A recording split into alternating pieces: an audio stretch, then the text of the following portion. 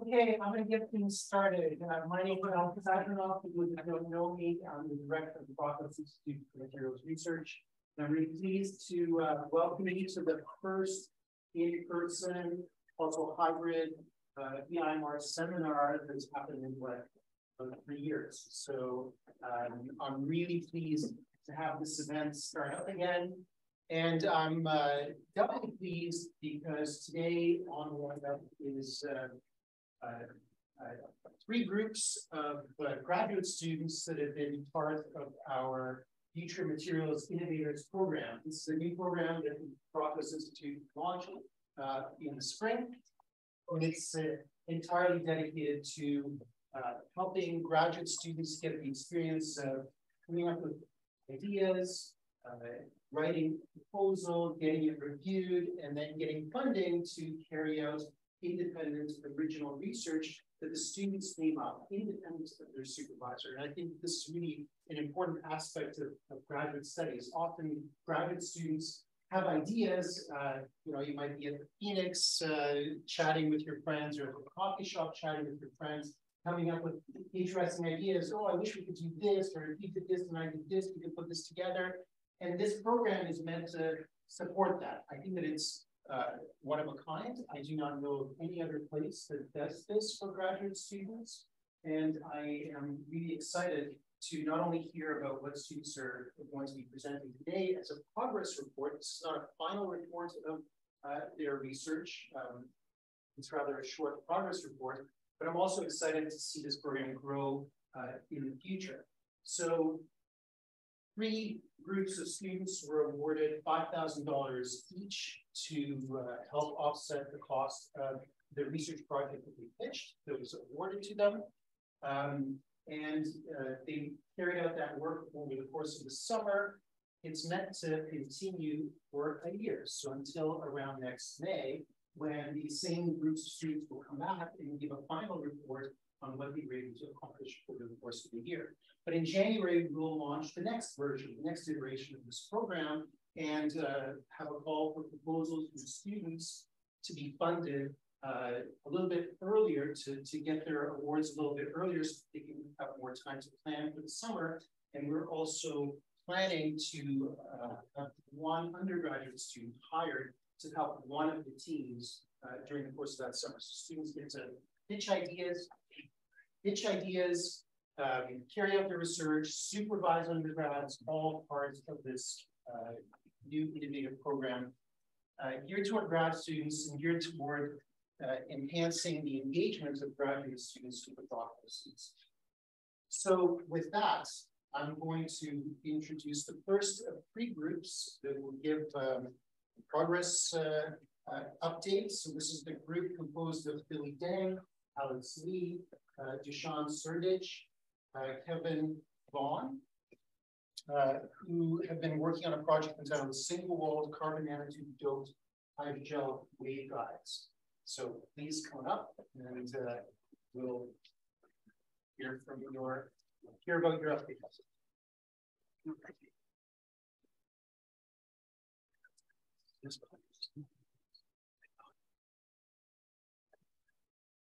That's the point I use. Can we steal the pointer? Oh, okay, I got it.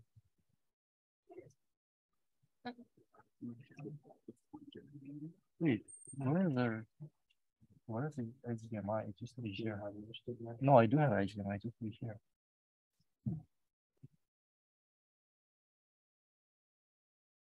Need the pointer?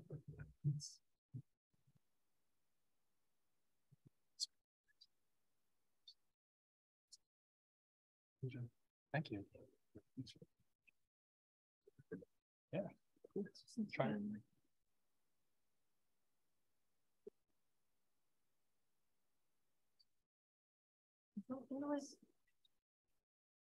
Hmm.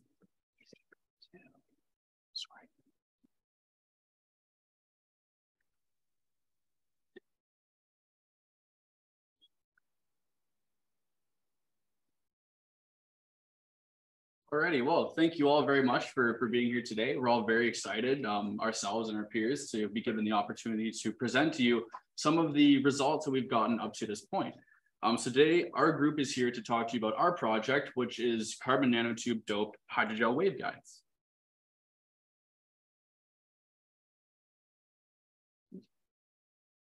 There we go.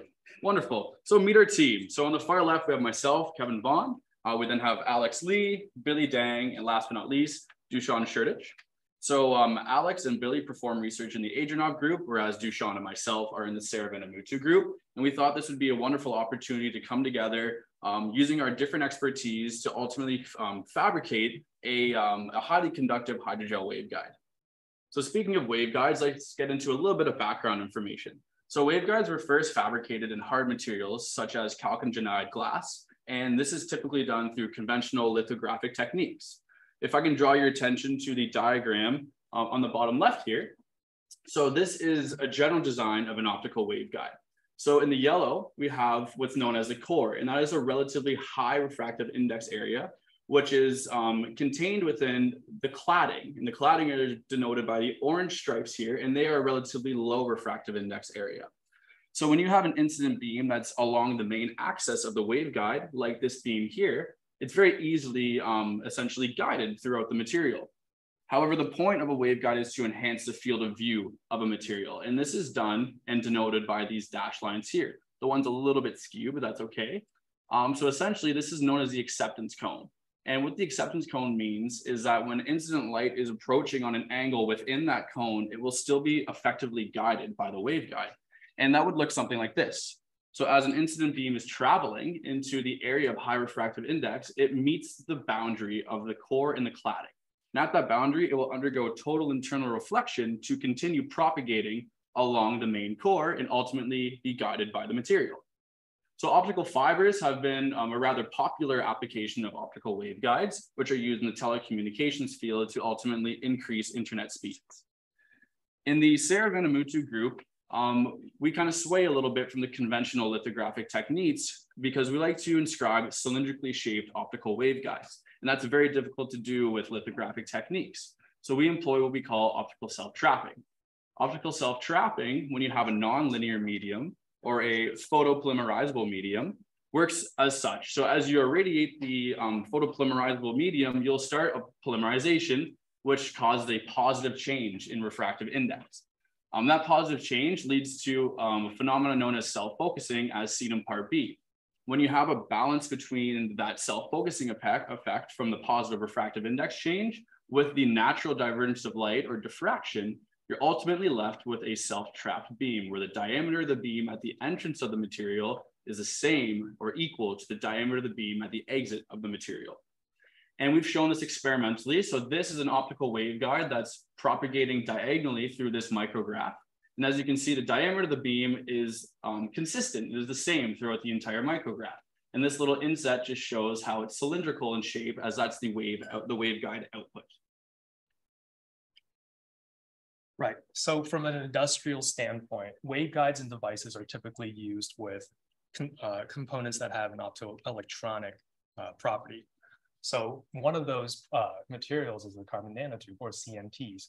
And CNTs are very conductive materials. In fact, they're conductive even at low percolation thresholds, which means that even at a very low weight load, loading in a bulk sample, they can arrange themselves randomly to form these networks, which can carry an electrical current, right? And second of all, they're very solution processable. So you can dope different materials like films, like hydrogels, with these carbon nanotubes and you can make them conductive uh, bulk materials. But most importantly, they are near IR photoactive, which means that they have optical activity in the telecommunications bands from 1260 to 1610 nanometers, right? And as, as Kevin alluded to earlier, that's very important for optical fibers. So there's been a lot of effort to try to bridge carbon nanotubes with waveguides, right? Uh, for example, in one of the papers here, they have the CNT forming a junctional contact with a silicon waveguide uh, between two electrodes.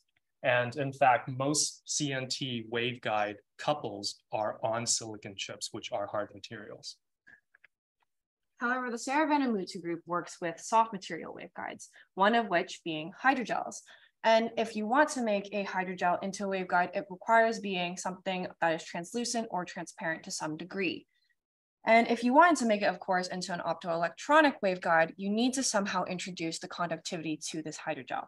Now it's been done before with either ionically conductive hydrogels or changing the monomer to be a conducting polymer hydrogel. However, we are most interested in doping it with either micro or nano composites in the hydrogel. So that being said, we can do this with graphene or what we work with, carbon nanotubes. In literature, we see that hydrogels can be done with multi-walled carbon nanotubes, but you can see here in this image that is very dark and opaque, not ideal for a waveguide. But when we look at different kinds of literature, we can see that it is possible to make transparent films or thin films with carbon nanotubes that can be done. However, it hasn't been explored as a waveguide. So this is still uncharted territory in terms of soft materials. But what exactly are carbon nanotubes? I have been going on about them for a while, but I haven't quite explained them. Well, carbon nanotubes are a type of carbon allotrope, a way that carbons structure in nature. And you can see here that they are indeed like a sheet of carbons in a honeycomb structure or honeycomb pattern that has been rolled up into a tube. They have great thermal and electrical conductivity, as I said before, but they are also very mechanically stable or have great mechanical strength and tensile strength and are very chemically stable, which is very important when you want to introduce it into a new material. And determining the type of carbon nanotube that you get, you can have two different kinds depending on the direction that it has been rolled up into. You can have either zigzag, chiral, or armchair. And if you have an armchair carbon nanotube, it's going to be metallic, whereas with chiral and zigzag, you have semiconducting. So you have about one third to two thirds of metallic to carbon metallic to semiconducting in all commercial, uh, commercially made carbon nanotubes. So this is quite important because it will change the amount of conductivity you get from the sample depending on how much you have in either. So you can enrich it with more metallic or more semiconducting with different processing methods. If we were able to disperse these carbon nanotubes into a waveguide, we would be able to make it optoelectronic, which is our goal. Right. So as as Alex said, uh, the ultimate goal of our collaboration is to make a soft material that's both conductive and can also behave as a waveguide, right? And hydrogels are a great candidate for that because if you look here, um, they very closely resemble different human tissues, right? So there's that mechanical compatibility there. And a lot of hydrogels are already being investigated for wearable electronics. So naturally, it's sort of a great place to start. We already have some precedents of hydrogels. So now we just have to put a waveguide in them and also make them conductive at the same time. Right. So our initial hypothesis um, in terms of combining optical waveguides in a hydrogel and carbon nanotubes um, is to essentially produce two different waveguide architectures that have carbon nanotubes evenly um, dispersed and, and uh, distributed throughout the hydrogel itself. Um, so one of those architectures, one of those waveguide architectures is a waveguide lattice. And that essentially is um, a lattice in a, oriented in a square array where you have cylindrical waveguides that propagate, um, as seen in the side view here, from the entrance face to the exit face of the material. And those cylindrical waveguides are typically on the order of a few microns, so typically 40 microns in diameter. And this is different from the single waveguide architecture, which is one rather large waveguide that again propagates from the entrance face to the exit face of our material. However, the di diameter of that beam is roughly on the um, scale of, of a few millimeters. And so the black dots um, that you see on these diagrams was our representation of how we would evenly distribute the carbon nanotubes throughout the hydrogel to ultimately create um, a hydrogel that's optically active and can guide light, and it's also highly conductive. So how exactly are we going to get these carbon nanotubes into the waveguide? Carbon nanotubes are hard to process as they're very fine and difficult to work with.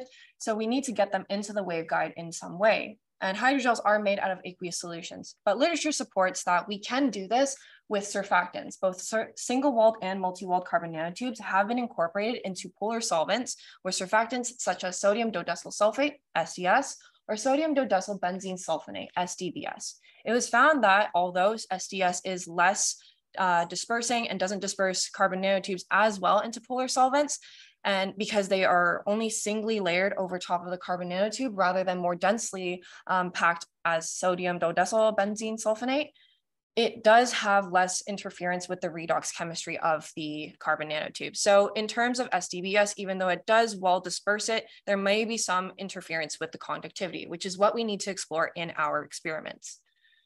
But that being said, we wanted to start off with a series of dispersions in an aqueous solution. So we chose a phosphate buffer with these loadings of carbon nanotubes at 0.005 as our low, um, 0.001 as our medium concentration, and 0.002 as our high concentration of single-walled carbon nanotubes.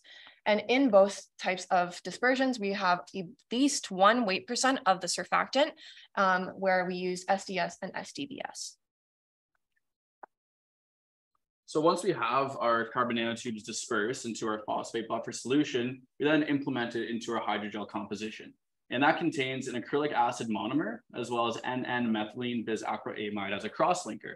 And that's all in the presence of sodium phosphate buffer, which Alex just went over is where we are dispersing our carbon nanotubes. We then implement Irgacure 819 and camphorquinone as photoinitiators to sensitize the resin to visible light. So once we have our sol mixed and ready to go, we implement it into our optical assembly as seen here.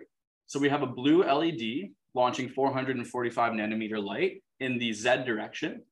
And that passes through a collimating lens and then interacts with the 2D periodic amplitude mask. So this mask, I like to think about it as splitting the broad beam up into a square array of smaller beams that are about 40 microns in diameter and spaced apart by 80 microns in all directions, forming a square array and those little beams are actually the ones that interact with our hydrogel sol. And so the same light that's being used to polymerize our sample is subsequently captured by a charge coupled device camera. So that CCD camera is capturing the output of those waveguides forming, allowing, allowing us to perform temporal evolutions of how those waveguides are forming. And so here on the left, we have a temporal evolution of waveguide lattice formation um, image using a CCD camera. And so what is actually a CCD image? Uh, so referring back to the setup that Kevin just explained, our CCD camera is located here and it is imaging the exit face of our sample or the light as it exits the sample. And so um, the CCD camera or charge coupled device is responsible for taking the light signal it receives and converting it to electrical signal, which we then process into uh, an intensity profile as seen here, which uh, we then use to analyze our data. And so we use an Inferno color map, which has yellow as the brightest intensity. And so what do we do with our CCD camera to monitor the experiment? So we have it set up to monitor the exit face and the entrance face. So this is how the entrance face would look like for the lattice waveguide formation. And so how do we know when our experiment would be over? So here we have the monitoring of the exit face on the left side. And so you see at four seconds, vertical stripes indicating that the waveguides have not been formed yet. However, at six seconds, we see the waveguide lattice formation is intact, meaning that the experiment is completed or uh, is near completion. And so how do we know that these, uh, so another way to look at our sample is through a microscope. And so this is a polymerization reaction is irreversible, meaning that these structures are permanently inscribed. We can look at them through a microscope. And so here we have uh, further evidence of our waveguide lattice being formed. And so moving on to samples that have been doped with uh, carbon nanotube concentrations, starting off at the lowest concentrations, so 0 0.05, 0 0.0005 weight percentage, we see that our waveguide lattice is mostly intact and the carbon nanotubes are scattered throughout the sample. However, moving uh, to 0 0.001 weight percentage, we see that these carbon nanotubes begin to disrupt the formation of the waveguide lattice, meaning that the carbon nanotubes are affecting the process of the waveguide lattice formation. And moving to the highest concentration that we used, we can see that the waveguides, uh, the lattice is not forming well at all, and the carbon nanotubes are highly disrupting the formation of this waveguide lattice. And so seeing that we had difficulties uh, using the waveguide lattice formation with the carbon nanotubes in our samples, we decided, we decided to then move on to single waveguides formation. And so the setup is very similar for these, except for the mask here that you see. So instead of using the amplitude mask that was seen in Kevin's setup that he was discussing as well, uh, we now use a shape determining mask that is cylindrical. So the circle is approximately um, five millimeters in diameter and is responsible for the formation of the single waveguide. And so what does this look like at the entrance space? So we're imaging the center of the beam here. So it just appears as a broad beam and moving to the edge. So this will look, at it, look, like, look like at the edge of the uh, single waveguide. And so for our experiments, we'll be looking at the exit face at the center of the beam. And so here we also have an example of how it would look like in just a regular hydrogel experiment. And here's a formation of the singular waveguide after radiation. Uh, just note that the vinyl mask has been shifted a bit and that the um, unpolymerized sol, has, unpolymerized sol has been removed from the sample as well. And so looking at the first temporal evolution of the lowest carbon nanotube uh, weight percentage, we see these areas of higher intensity appearing at two seconds. And this is um, indicative that these areas are of higher effective index as well. But to confirm the presence of waveguides, we'd have to look at this sample under microscope. And then so we move towards six seconds and see some initial phase separation begin to occur, which then becomes more prominent at eight and 10 seconds. So we decided to do another trial at the lowest um, weight percentage. And again, we observe these areas of greater intensity appearing with less uh, prominent phase separation, but we still saw those in our sample. And then at 0.002% uh, uh, carbon nanotubes, we saw again complete disruption of any waveguide formation and also note the long polymerization times indicating that the carbon nanotubes really disrupt the general uh, polymerization process as well. And so to conclude, between the two surfactants that we tested, we chose to move forward with SDBS as this surfactant provided uh, more transparent solutions as well as uh, higher quality waveguide lattices in our experiments. And then, so speaking of the waveguide lattice experiments, we found that the lowest concentration provided us with the best results with the most intact waveguide lattices. And then moving away from the waveguide lattice to the single waveguide, we saw interesting results in that we were we were able to form um, areas of greater intensity, but we need to be uh, we need to be doing more to optimize these experiments. And uh,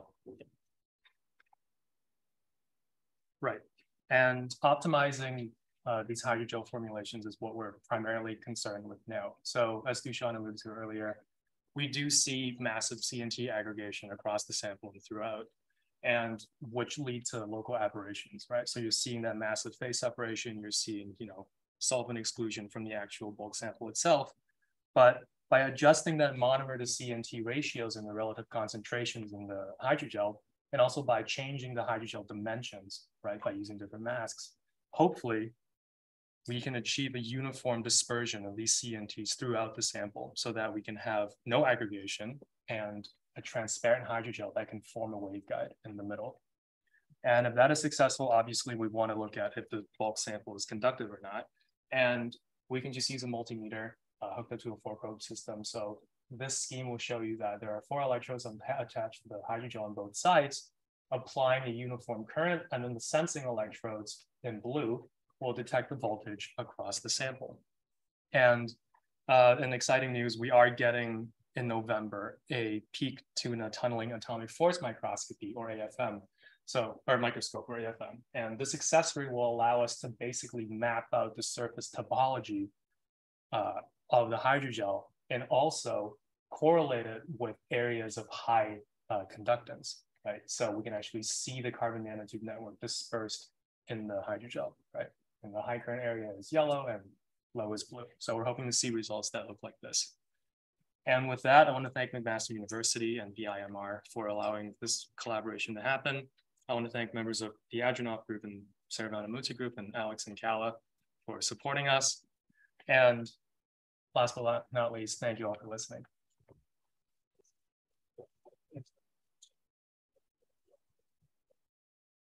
We don't have too much time for questions, but if there are any questions, uh, do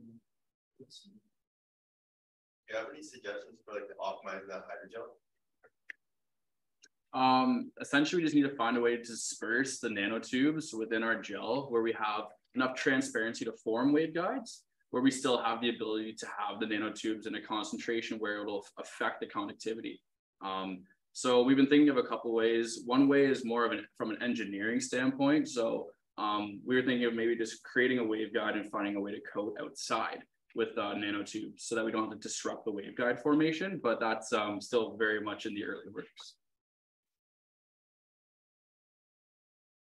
Okay, I forgot to mention that we will have a reception just outside this room immediately following the talk. So there will be time to interact with the groups and have uh, discussions or suggestions or any further questions can be asked then.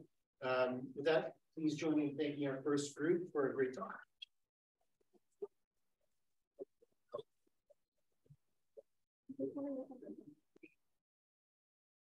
Okay, the second uh, update for today, this afternoon, coming from um, Saki and Alessandra Nervo. Uh, telling us about their work on using correlative light and electron microscopy to investigate the influence of genetic modifications on the quantity and quality of magnetic crystals. I'm happy it's very active. These are. Yeah, yeah.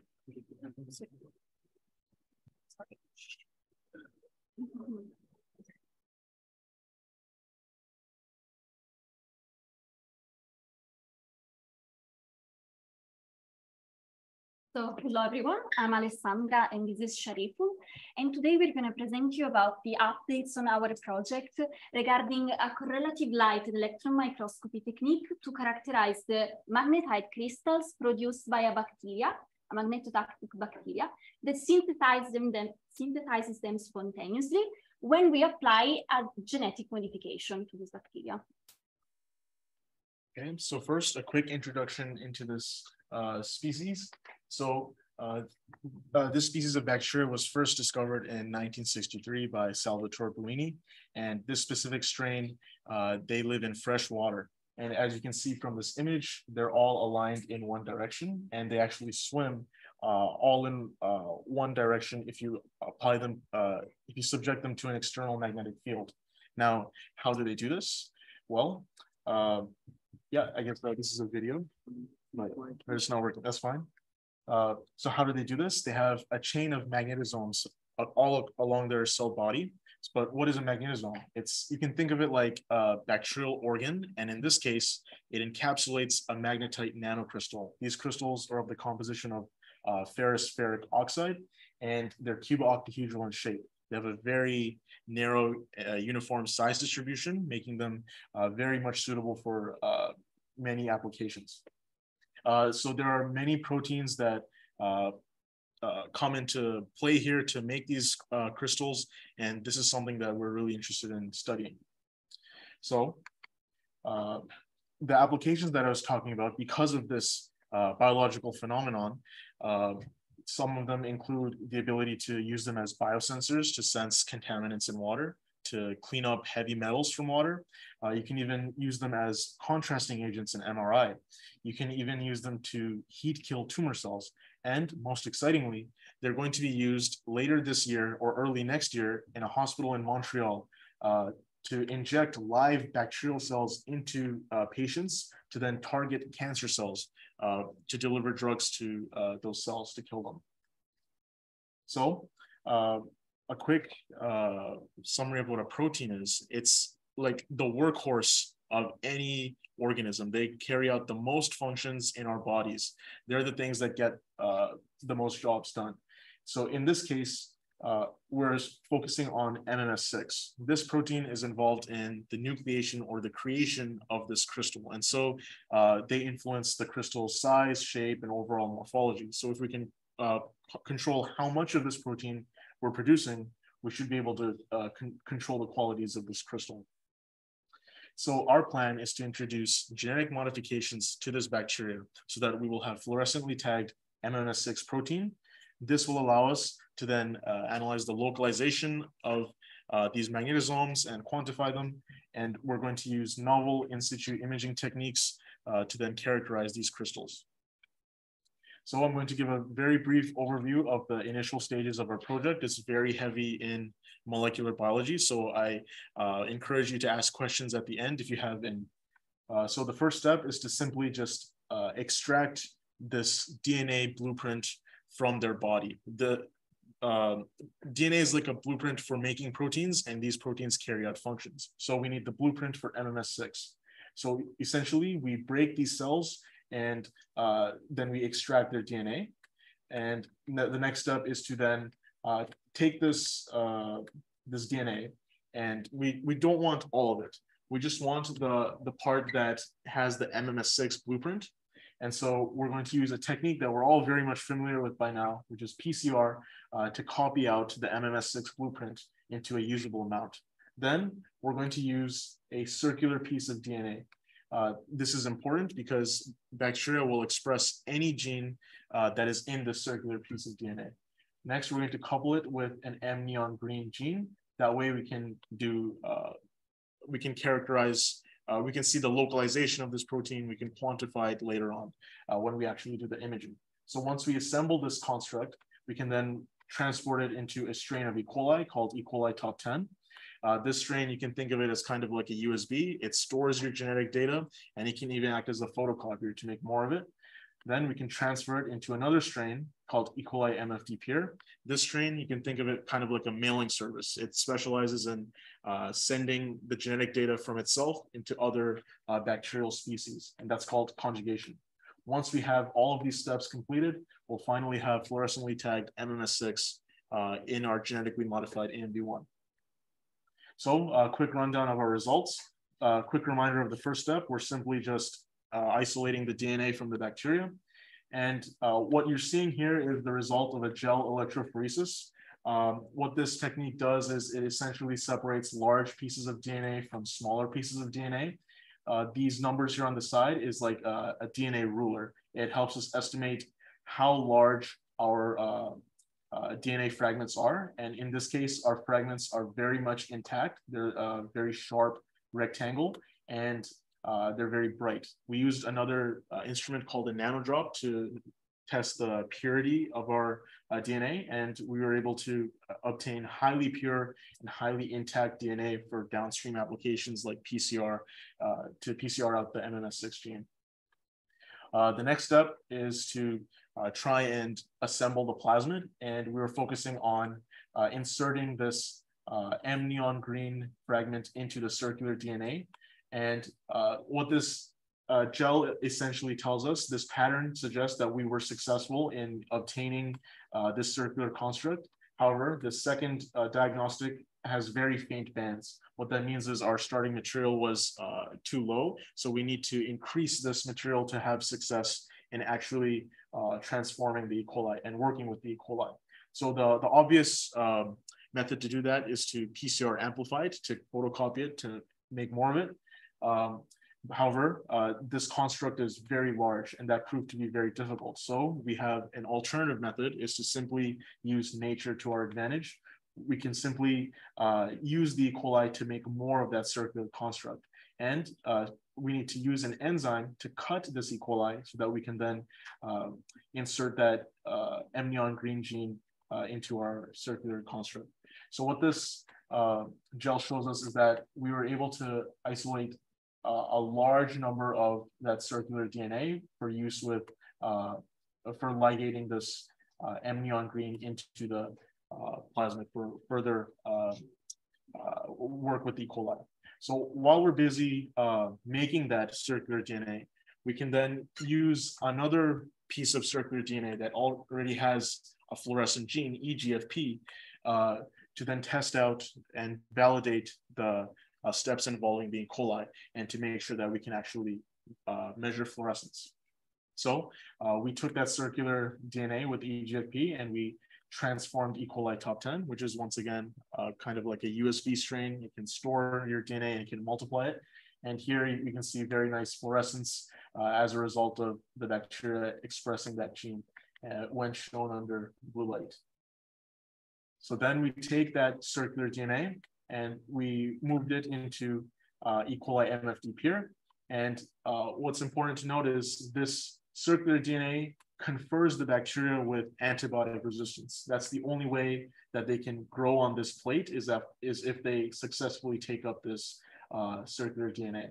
And then once we have this, we can isolate a colony on this plate, we can grow it, and then uh, grow them in the presence back into our organism of interest, AMB1, which is what's happening on this plate. Uh, this is essentially the process that's occurring. Uh, it's transferring the circular DNA into AMB1 uh, which we can then finally have fluorescently tagged AMB1. Uh, and uh, while we're working on this, we're also working on uh, incorporating the MMS6 gene into this construct. So eventually, uh, the next step is to then have uh, fluorescently tagged MMS6 for us to do imaging and analysis. So as Shariful mentioned, what we aim to get at the end from this process is actually a bacteria that expresses this gene and thus has a magnetosome and it's genetically modified. And at the same time have a fluorescent tag. The fluorescent tag we need for the correlative microscopy uh, in order to be able to localize this magnetosome and make sure that we're actually picking magnetosomes that present this genetic modification. So how, what are we using to characterize these magnetosomes? We're we're using two techniques, so a light microscopy technique and an electron microscopy technique. The first one we're going to use is a fluorescence-based microscopy. So these bacteria have already been imaged through my through fluorescence microscopy, generally using a confocal microscope, which has a resolution of around 250 nanometers, and thus would not allow us to be able to perfectly localize the fluorescence on the magnetosome of interest. Why actually we want to know where the, the modification is so that we're sure that we're looking at a magnetosome that was genetically modified so that we can tell what happens to the magnetite crystal synthesized. So in this case, we're using alphanumeric grids so that the coordinates that we obtain using uh, structured illumination microscopy, we can reconnect to the coordinates during TEM, so transmission electron microscopy. While structured illumination, because in this case, the resolution is much higher, we arrive around 80 nanometers, which is enough in order to be able to localize our magnetosomes.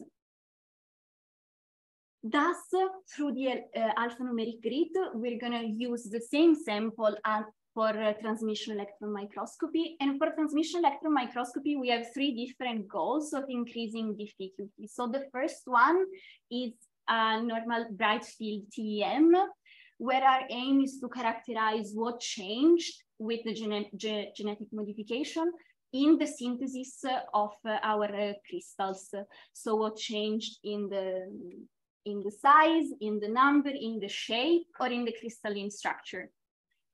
The second one is actually going to be about tomography. So we're going to try to reconstruct the 3D shape of our crystals and see if there's a preferential plane of growth, um, uh, depending on which are the interactions with the modified proteins. And finally, uh, we're going to use a wet imaging technique. So these bacteria have been um, looked in a wet conditions, but generally using specific TEM holders that are um, realized for that specific goal. In this case, we actually are going to use a different technique, which is a um, sandwiching technique that was developed at Penn State University, uh, where our solution of bacteria is actually sandwiched between the TEM grid and um, silicon nitride chip, which allows to investigate what the bacteria looks like in reality, because there's no need for fixation in this case. So it's actually what the bacteria actually looks like in practice. So for now, we've started with our negative controls. So these are TEM images of our bacteria that have not been stained and do not present any kind of fluorescence or genetic modification. These are just meant for us to understand in a normal condition while analyzing the bacteria, what's the average size of the bacteria itself and of the synthesized nanoparticles. And we're trying to understand what's the best imaging processing that we can use in order to address all of the modifications that we're interested in checking out. Um, the two the, the relevant thing is that we're checking for both the log phase and the stationary phase. There are two different phases in the growth of the bacteria. Uh, just to check if there may be any kind of difference in how the crystals are synthesized during these different phases. With that, we're happy to take any questions if you guys have any, or if you're in a rush, we can also answer them later during um, the outside meeting. We would like to thank BIMR for giving us the chance to collaborate on this project. Uh, our supervisors, of course, so Professor Granfield, Professor Sak, and Professor Fadin. Um, the CCM and all their technicians for the help provided, Calm, especially Joao for all of the precious information and suggestions about the strategy for the light microscopy, and my colleague Liz Checo for the help provided during the TVN sessions. With that, I thank you all for listening.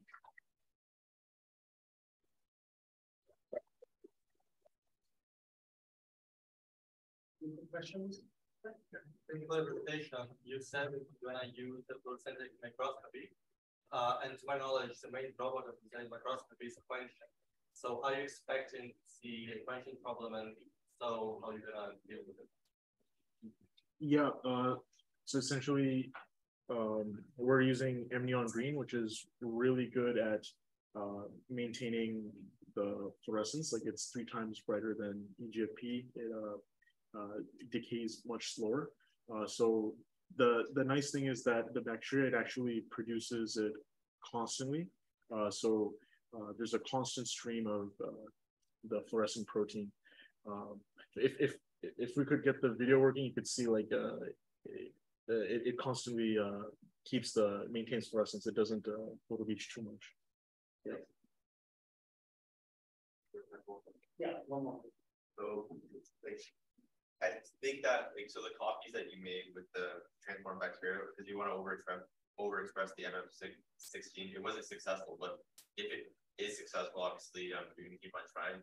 What do you think the results on the crystals is, the magnetite crystals, like by overexpressing that gene? Uh, it can increase the quantity of the crystals. Like uh, you'd see more crystals along the chain. You would see them. Uh, if there were any irregularities in the wild type, they would become more uniform um, because that's what the MS6 is responsible for. It uh, it facilitates the uh, the, the it, it facilitates the initial stages of the crystal growth so that it, it uh, uh, grows to be more uniform. Any structure, structure related? So it could be the planes of growth that we are expecting to see a change on. So this protein is what determines how the synthesis is going to happen. So if we can control how much of this protein is present, we can see if there's any connection with, as I was mentioning, the size, the number, um, the planes of growth. Thank you. So if I understand correctly, you're just trying to see what is the effect of that gene on, but you're not targeting a particular result, a higher number or larger size or smaller size? It could be higher number. Uh, we're hoping to maintain, so it should still be a monocrystal, so that's pretty, pretty known. The size could change, but actually we're trying to address that after gene genetic modification. So. Okay. Great, please join me. Thank you.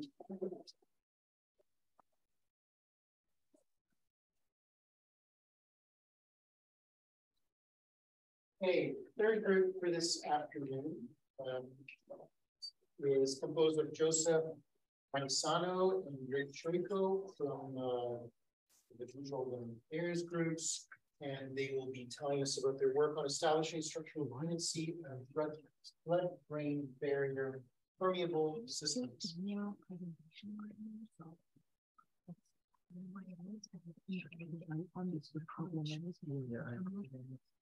Um, I'm trying not to represent you. I don't know why.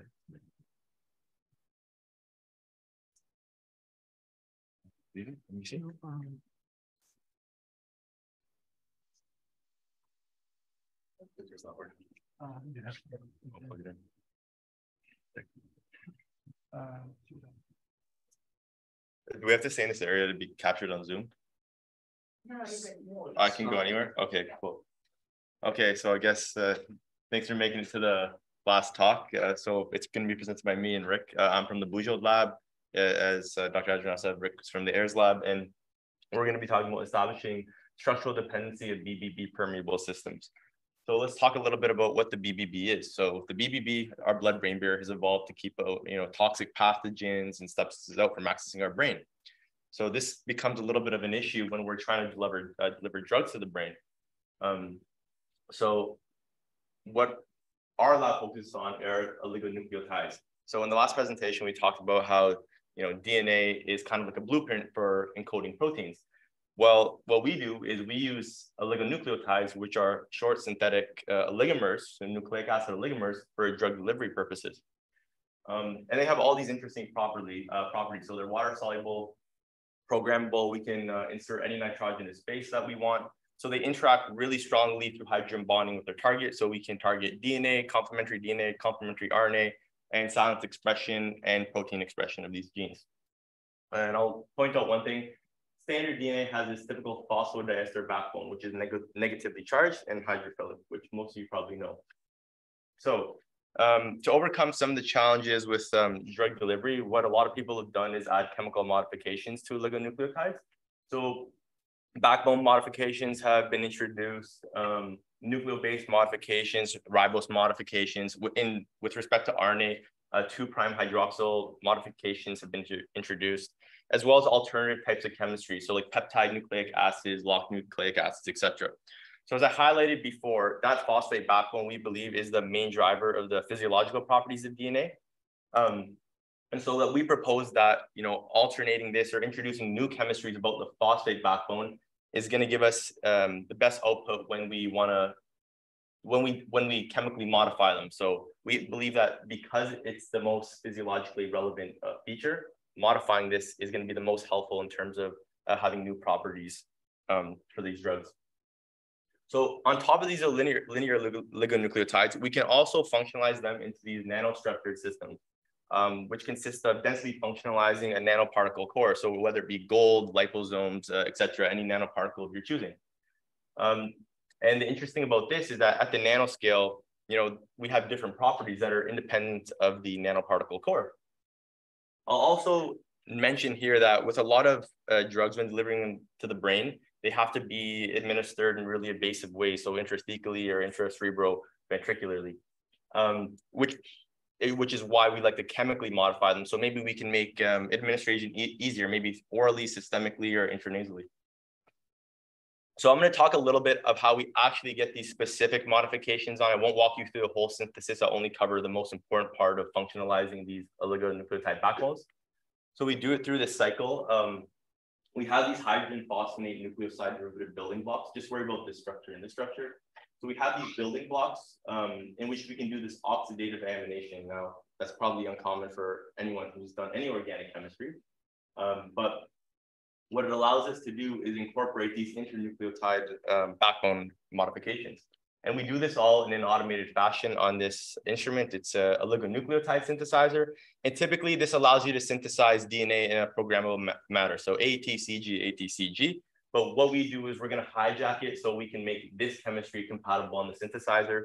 It allows us to reduce the time and cost associated with synthesizing these structures, as well as we can run them in parallel syntheses as well. So I'm just gonna highlight that main uh, point again, um, and we can take away two points from this slide we have this hydrogen phosphonate and conducted in basic conditions with an oxidizing reagent, we can form a PN bond as opposed to the standard PO. So this does two things. One, we get a PO bond or a PN bond, which um, kind of neutralizes the charge of that PO backbone. And when we neutralize the charge, we know uh, typically when we have you know cationic or anionic structures, they repel cell membranes. Uh, they're not very electrostatically favorable. So by introducing a PN bond, we kind of reduce this partial charge as well as we can introduce an R group of our choosing. So some functionality that's responsible for uptake. So let's talk about a little bit of characterization of these linear oligonucleotides first off. So when we purify them, we use reverse phase HPLC. And something interesting happened here is that when we increase the number of modifications and the modification of our choosing, we just chose a generic modification like propylamine, when we add, when we have an unmodified strand, a strand with three modifications, seven and 10, we can see a gradual retention time in the column. And it makes sense because we're doing a reverse phase HPLC, which has a um, hydrophobic stationary phase. So the more hydrophobic groups we add in, the longer it's going to retain with the column. Um, as well as we can characterize these uh, oligonucleotides based on gels, um, which tell us things about their mass as well as their uh, relative charge. So when we increase the number of modifications on these structures, um, in essence, we're reducing the overall charge, which is shown with the reduced uh, electrophoretic mobility on this gel. So from this slide, I think uh, we can take away, um, the main point is that we can take away that the structure, so the chemical modifications that we introduce to the structure dictate some of the properties it has. Uh, and lastly, I'd like to talk about how we can take these oligonucleotides. Uh, I'm just going to denote them with this squiggly little line uh, with this purple region and a thiol, and how we can bioconjugate these with gold nanoparticles. So we do this through a, a uh, thiol gold covalent bond, and we can form these spherical nucleic acids. So I just um, I just drew this region with these, these purple purple shell to show like which regions were going to be modified. So we, we put the important functional groups on the surface because, you know, when they interact with cells or cell membranes, this is going to be the primary responsible um, uh, functional group for interaction. And we can characterize these uh, with agarose gels. So these are, this is quite a nice gel, shows like very monodispersed bands. So it means that our spherical nucleic acids are monodispersed, and not aggregating. And as well as gels, we can use DLS to determine their hydrodynamic radius. So DLS is just a technique where we can shoot light at nanoparticles and based on the way they reflect, refract light, um, we can gather information about their hydrodynamic radius. So for these SNAs, we have an unmodified SNA, a 3x uh, propylamine modified SNA, and a 7x. They all have relatively the same hydrodynamic radius when we compare them with a control of just gold nanoparticle stocks. So this is just proof that these types of chemistries that we have are compatible uh, with nanostructured systems. Um, and we believe that you know introducing these chemical modifications to linear oligonucleotides and nanostructured system are going to um, alter their properties and therefore dictate their interactions with the BBB. And having said that, I'll pass it on to Rick to discuss more of this. Uh, thanks, Joe. Uh, good afternoon, everyone. I know I'm the last one for today, so we'll try to keep it as succinct and as easy to, to digest as possible. And as John mentioned, uh, my main goal for the day is to convince you that there is a dependency between structure of the drug and the BBB permeability. And I'm going to do this through introducing you a concept from computer science, which is called metric learning. So for now, I'll ask you to forget a little bit about BBB permeability and just, just follow me. So in computer science, in machine learning community, we believe that if points are close together or if they have a similar features, then they're going to have a similar tar target property. And for the sake of visualization, I created a data set of points where our thing we're trying to predict, our target property is actually the color of the point, okay? So again, we believe if point, points are close together, then they're gonna have a similar color. And well, for humans, for us, it's obvious that color is distributed along X direction. However, if we take a look at the neighborhood graph, so it means that I connected every point with the closest point in the neighborhood, then we see that, let's take a look at this pair of, of points. Uh, if I don't know the color of the black point, I find the closest one, which is purple, so I'm gonna misclassify it as a purple. In fact, all points in here are gonna be misclassified except this yellow one. But again, this is super trivial case for, for us as humans, so how, how we deal with it? Um, there where metric learning comes in play. So in general, uh, metrics such as Euclidean metric distance uh, is a so-called isotropic distances, which means, uh, sorry, isotropic metrics, which means we treat distance in every direction equally. However, there is other sort of metrics such as Mahalanobis metric, where distance in every direction is treated differently. So instead of living in a circle or sphere of equal distances, we live in a, uh, in, a, in an ellipse. So that means that in this case, instead of counting uh, neighborhood in all directions equally, we treated neighborhood in x direction more than neighborhood in one direction. So this actually means that we can classify all points correctly, which is well win. Uh, so what does it mean? If after applying metric learning to our problem, uh, and it, we increase accuracy of prediction, whatever property we're trying to predict, that means there's basically a useful features information such as X direction in this case. And there's basically a noise or useless information about our system that we probably doesn't have to take into account, such as Y direction in this case. Okay, so let's hop in back to BBB permeability. So for testing this hypothesis, we, we are working with B3DB dataset, which was curated by Dr. Fenman Mann from our group. Um, so the dataset is curated from 50 published experimental sources of small drugs and you can see the distribution, uh, weight distribution of these drugs and this average weight is slightly more than 400 daltons, which is again, well, super small drugs. Um, the good thing about it, we have more than 7,000 instances of experimental values of BBB permeable drugs, which we denoted as BBB plus and BBB non-permeable drugs, which we denoted as BBB minus. Um, this data set is pretty well balanced. However, it's not the case in real life because we know that 98% of drugs are not BBB permeable, uh, but again, for the sake of numerical stability and in general, well, it's better to have a well-balanced data set, even though it's not a case in real life. Uh, the best thing about the data set is there is more than 1,000 experimental values of log BB values. That means that we not only could say that drugs are permeable or not permeable, but how permeable it is. So we can make not only quantity, but also qualitative predictions at the same time, which is, which is a good thing to have. Uh, okay, so we represent our molecule as a as a uh, well so-called paddle descriptor. So this is standard ChemA informatical descriptor that takes into, into account all possible information about the structure of the drug, and it represented as a number of let's say number of aromatic atoms, bonds, uh, number of all bonds, uh, number of rings, hydrogen acceptors, donors, and so on and so forth. Again, there are more than 2,000 descriptors that generated just through all possible information about the structure of the drug. So after applying this idea of, well, key nearest neighbors that I told before, that if uh, drugs have similar set of features, then they're going to have a similar permeability, we can predict uh, permeability of the drug with the accuracy of more than 85%, which is already great. However, after applying this uh, approach of matrix learning that I told before, we can gain our, our accuracy up to 88%. So what does it mean? Uh, there are two key points in here. And the first one is, well, if we can predict permeability with a decent accuracy, just taking into account only structural information about the drug, then there is a clear link between structure of the drug and its BB permeability. And the second one, which is even better, that if we apply metric learning and we increase accuracy, then there is a specific set of features uh, such as we don't know yet, maybe it's number, hydrogen bond, number of hydrogen bond acceptors or donors or aromatic rings, so there's some linear combination that carries more information about the BBB permeability than some other things, probably number of carbon atoms, that basically doesn't, you know, give us any extra information about permeability and just annoys that we, well, have it just because we're trying to keep as much information as possible. So the next natural step of this project is actually identifies these key features that carries the most amount of information about BB permeability, uh, checks the impact on log BB, which means not only say, okay, uh, increasing number of hydrogen bonds makes uh, drugs permeable, but let's say increasing them by two, gonna increase permeability four times, right? Uh, so this gonna save Joe a lot of time and money because instead of looking through all possible combinations of uh, drugs and functional group substitution, I can provide him, let's say, with five to 10, the most promising, uh, the most promising modifications and going to increase uh, permeability.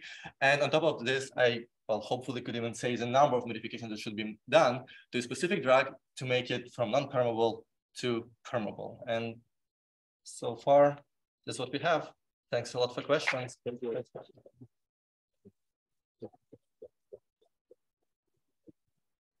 Any questions? Yeah.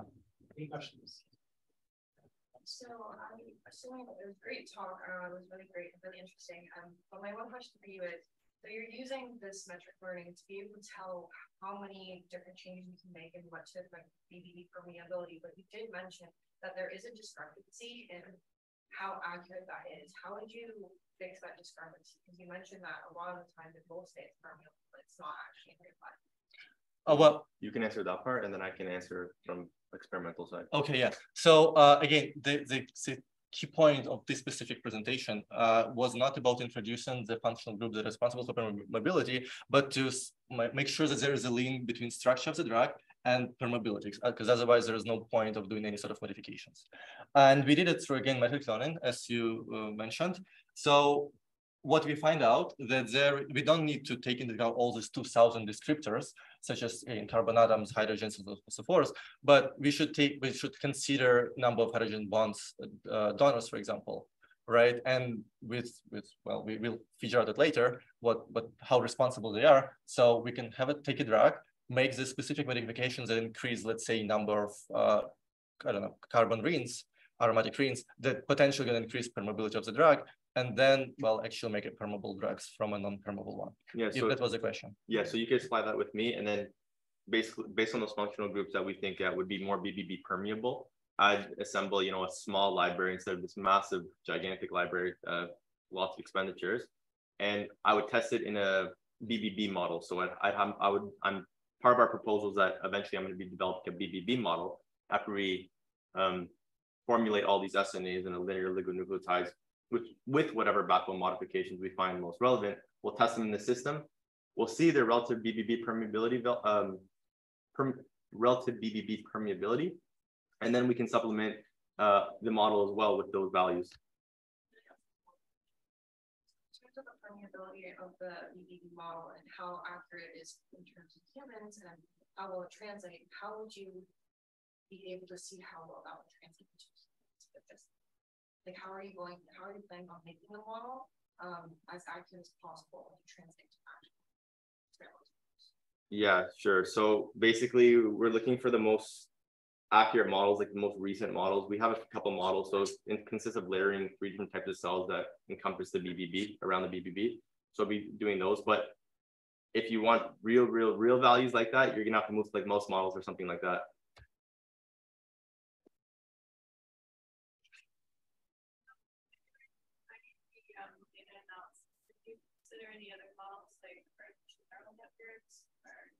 Oh yeah, of course. Uh, yeah.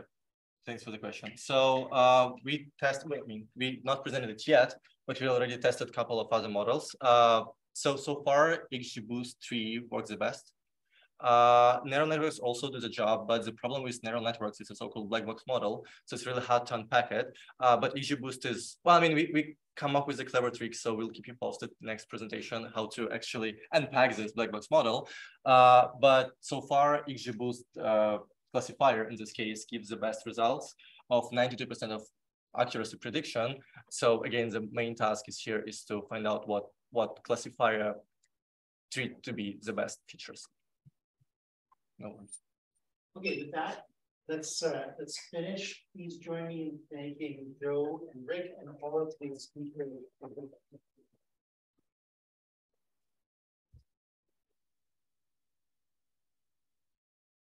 Thank you all